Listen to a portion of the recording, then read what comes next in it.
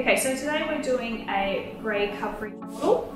We are working on about a 90% grey with a natural level in between of a level 6. Today we will be using 6% as we're dealing with resistant hair and a coarser hair type.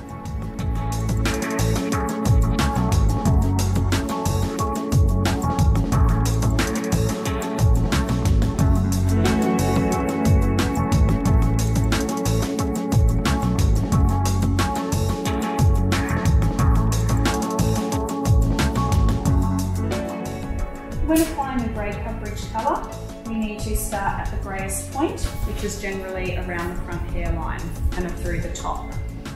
We also need to take nice fine sections and apply the colour liberally to make sure that everything is covered properly.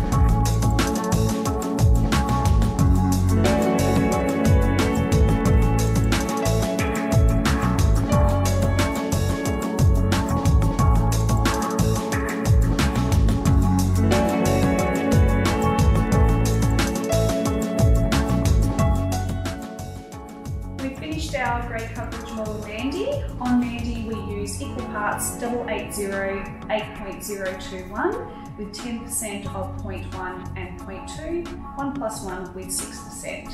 We've done this for a resistant grey coverage mix for 40 minutes.